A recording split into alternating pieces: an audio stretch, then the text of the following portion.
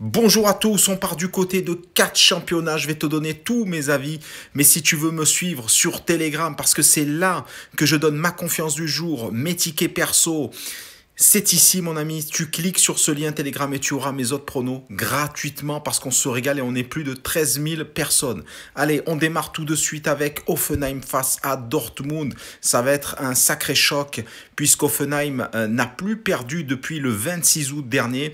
Mais euh, il faut dire aussi qu'elle a rencontré des équipes moyennes et dès lors qu'il y a un Cador face à elle, là, elle n'existe plus. Euh, de l'autre, vous avez le Borussia qui n'a perdu qu'un seul match et c'était face euh, au Paris Saint-Germain. Donc, j'irai plutôt euh, sur un but pour les deux équipes. On part du côté de la Ligue 1 puisque Strasbourg affronte le RC Lens. les, deux, les, deux, écuries pardon, restent sur une victoire en Ligue 1 seulement. On a cependant l'impression que les RC Lens a pu refaire le pleine confiance en Ligue des Champions déjà et en s'imposant aussi face à Toulouse 2-1. Euh, donc j'irai plutôt du côté de Lens, victoire de Lens. Allez, c'est parti euh, du côté de la Liga puisque le FC Barcelone rencontre Séville.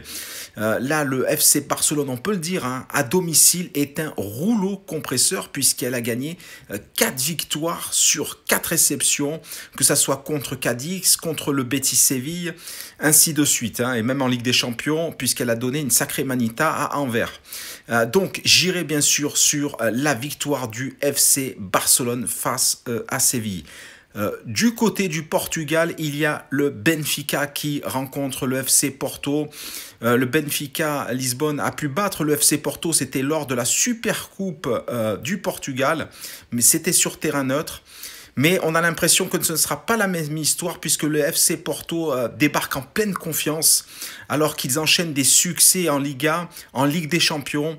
Euh, ils ont une longueur d'avance sur le Benfica, donc j'irai plutôt sur nul ou Porto. Ciao ciao